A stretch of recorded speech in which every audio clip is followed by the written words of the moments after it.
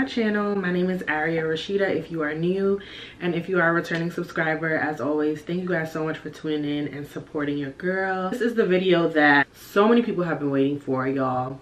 We are finally going to get into all things travel nursing everything that you will need to know before pursuing travel nursing before deciding that you want to be a travel nurse. Y'all i do have some notes in my phone. So how did i get into travel nursing I had quite a few friends that had took the leap and y'all, it was the end of 2021 i was pretty burnt out. I was tired i was exhausted and i was like it was time. It was time to make that leap. If you know me i'm always moving around. Like that's just me. Like i never sit still. Always been adapting to different environments. So i'm pretty okay with doing that. I'm pretty okay with being away from home. Like you know that's regular for me. So i decided at the end of last year or at it's a new year now. At the end of 2021 that we were going to start the process of trying to get out of staff nursing at least full-time and start traveling. So i will say like my process was not super easy at first. It was a little bit stressful because finding agencies it's a lot of research you have to do on your own trying to see what agencies are right for you trying to see like what cities you want to go to. You might want to go to a city, but there may not be jobs available in your specialty there. There are several, several, several agencies that you can work with as a travel nurse. So basically, when you're trying to make that leap, um, for me personally, I went down to PRN, which is as needed. Um, I just changed my status at the hospital that I was full-time at. I went down to PRN. So I didn't quit per se, but I just changed my status um, so that I can work less shifts a month as my requirement just to have a safety net. Like I said, I had a couple friends that were in the game already. So I asked them, you know, who they've worked with, etc., etc. And but a lot of it is you doing your own research and you kind of gaining your own perspective and gauging things for yourself. I am currently on my fourth travel contract. with that being said, the first step is you need to gauge and do your research, shop around with these agencies. You may find assignments on one agency website that have significantly higher rates. That same job on a different website may have a significantly lower rate. So that's why I always say don't just see something and jump on it. Shop around. My personal experience, I have worked with Aya Healthcare, Triage Staffing, Host Healthcare, and Trusted Health.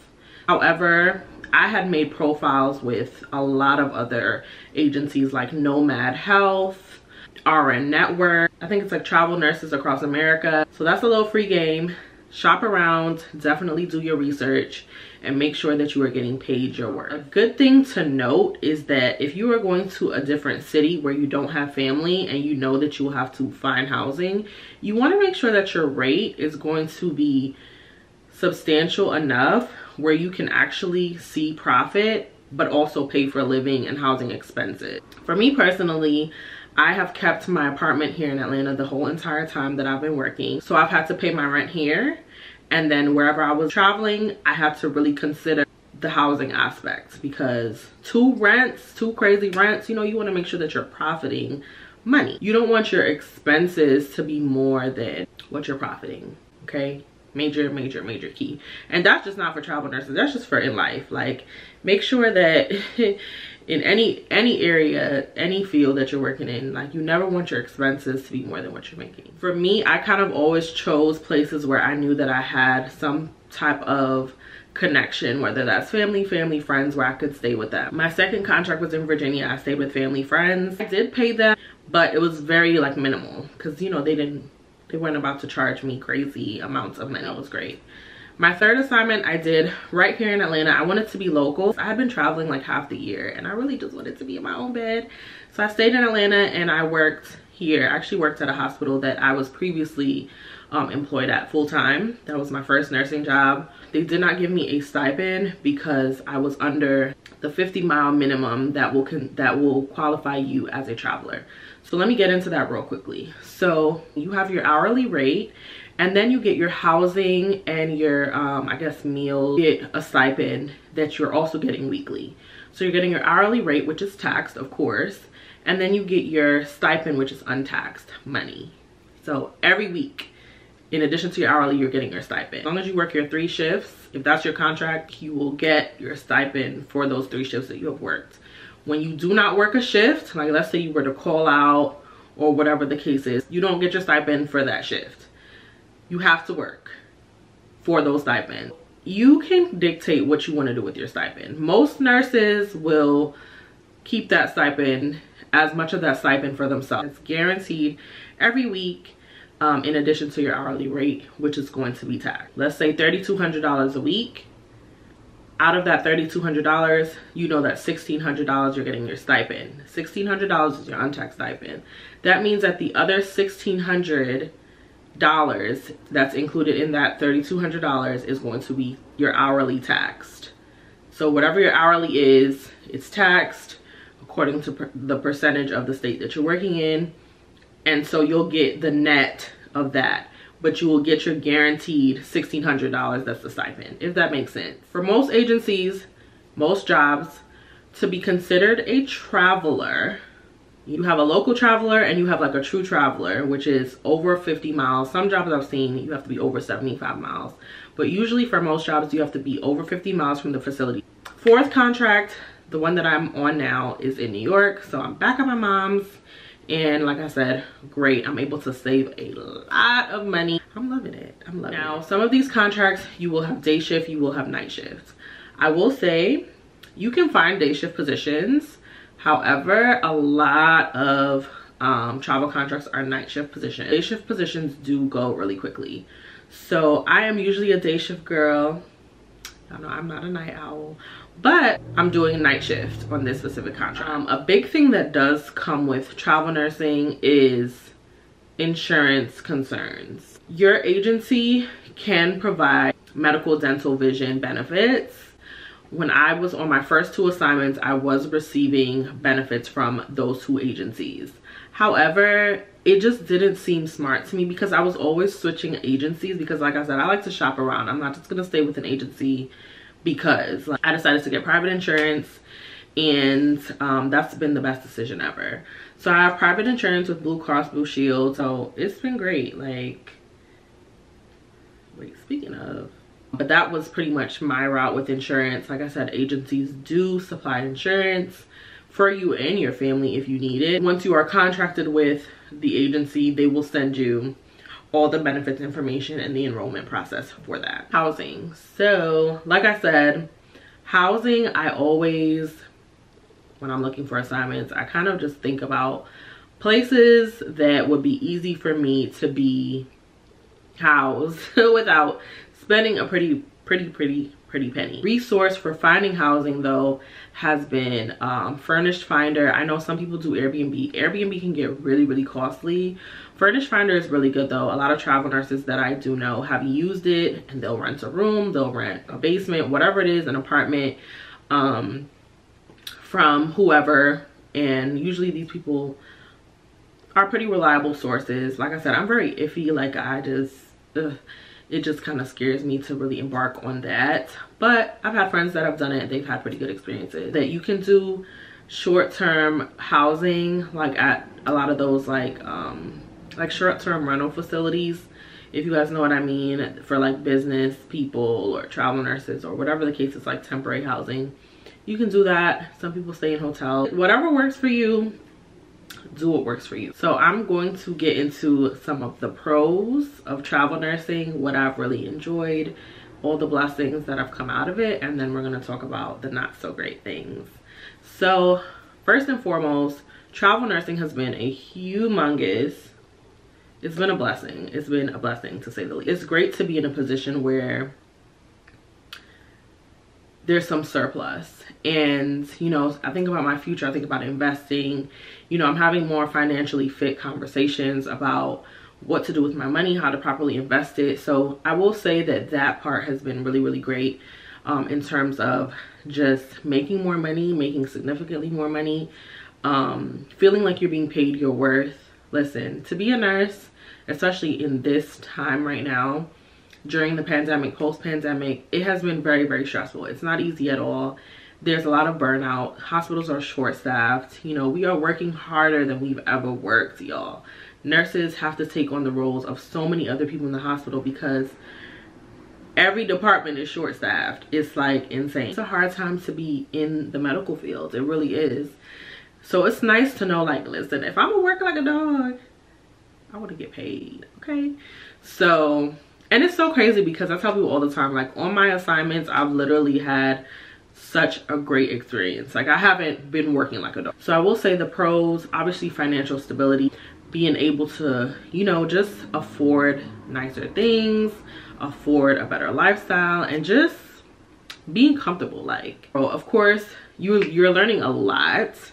So that's another pro. You go to all these different facilities. You have to learn a new charting system. You have to learn you know new policies and procedures it's so many different things. So it kind of makes you more of an experienced nurse when you are a traveler. Get your experience first and then go travel because when you do go travel there is an expectation that you are going to jump in and jump in quickly. Usually most facilities you'll get one day of training one day of training with a preceptor and you're expected to be on your own. Like seriously. Luckily i have been on assignments where they'll give me like two two to three days of training um which is nice. But really and truly a lot of it is really just seeing how their flow is. My specialty is postpartum. Postpartum is it's pretty straightforward and it's pretty you know like universal. Like the care is pretty much like the standard of care everywhere in terms of what we do for taking care of the moms and babies.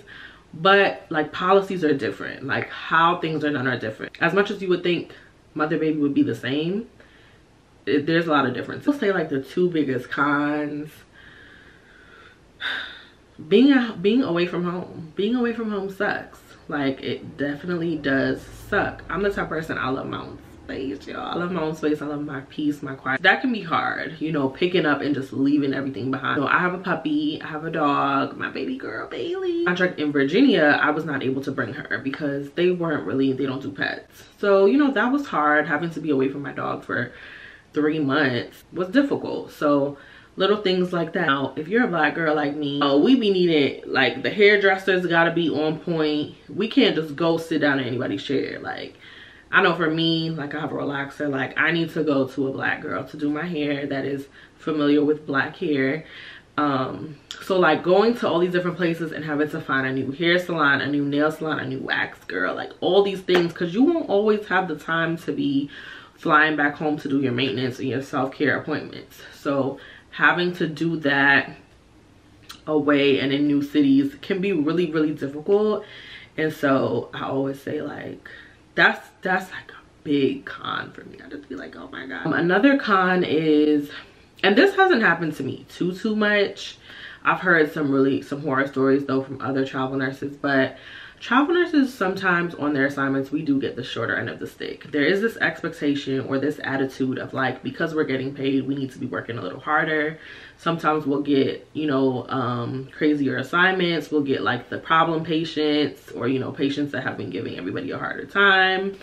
I will say when you are on your assignment you definitely want to be your biggest advocate and that's where your recruiter comes in. Like um, your recruiter. I know for my agency now, I have not only my recruiter, but I have a care team that actually has nurses on it. So they can help me with any type of clinical questions, any type of clinical concerns that I have. If I feel like the hospital isn't handling it cor correctly, that's what they are there for. So when I tell you, advocate for yourself, reach out to your recruiters. I remember when I was on my first assignment, I was being asked to take a patient that I didn't feel safe taking because I didn't have the certain training that I needed to take care of her. She was actually pregnant and um, it was an expectation for me to do um, fetal monitoring. I don't do fetal monitoring. I deal with the babies when they out the mama's belly.